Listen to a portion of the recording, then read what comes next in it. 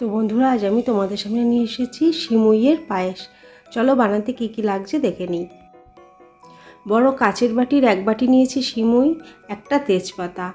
এদিকে নিয়েছি নুন, কাজু কিশমিশ, আর আছে ডালচিনি আর এলাচ। এলাচগুলো দেখো আমি ফাটিয়ে নিয়েছি। আর কাচের বাটির হাফ বাটি চিনি। আর ঘি আছে আর স্টিলের বাটির এক বাটি দুধ আছে। তো কড়াই বসিয়ে দিয়েছি, এখানে দু চামচ মতো আন্দাজ করে আমি ঘি ঢেলে দিচ্ছি। এই ঘিয়ে আমি সিমুইটা ভেজে নেব। সিমুইটা হাতের চাপে আমি ভেঙে নিয়েছি। যতটা ছোট করে ভাঙা যায় ততটাই ভালো।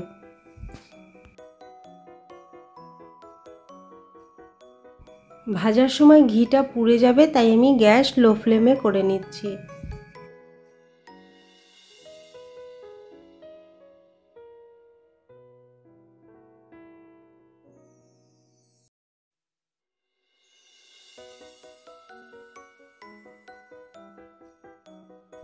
এইভাবে আমি ভালো করে নেড়ে চেড়ে ভেজে নিচ্ছি। আর দেখো, খুন্তি দিয়েও একটু ভেঙে দিয়েছি, যতটা ভাঙা যায়।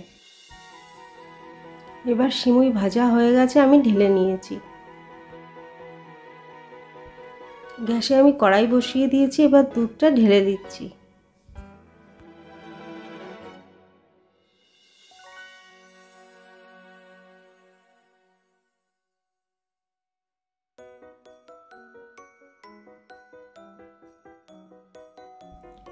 দুধে তেজপাতাটা ছিঁড়ে দু টুকরো করে দিয়ে দেব।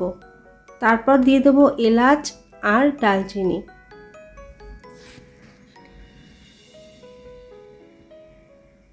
তারপর দিচ্ছি কাজু কিশমিশ। এবার ভালো করে নাড়িয়ে দেব।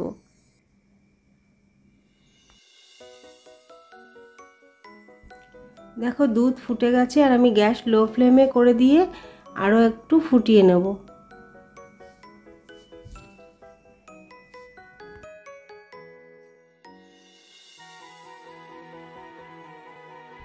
এবার দুধে দিয়ে দিচ্ছি চিনি। চিনি দেওয়ার পর ভালো করে নাড়িয়ে দেব।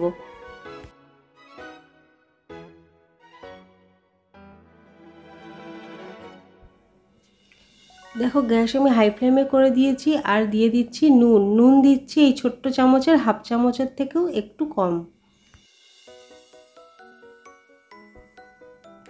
এবার ভালো করে নাড়িয়ে দিয়ে আরও চার থেকে পাঁচ মিনিট ফুটিয়ে নেব।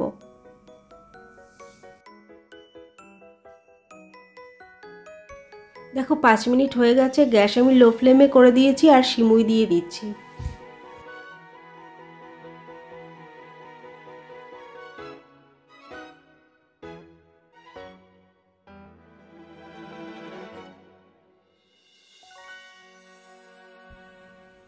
এবার গ্যাস আমি লো ফ্লেম থেকে হাই ফ্লেমে করে দিচ্ছি।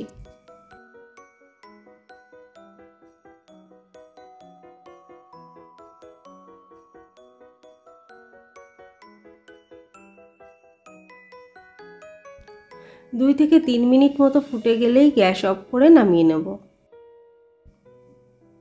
দেখো আমার শিমুইয়ের পায়েস হয়ে গেছে।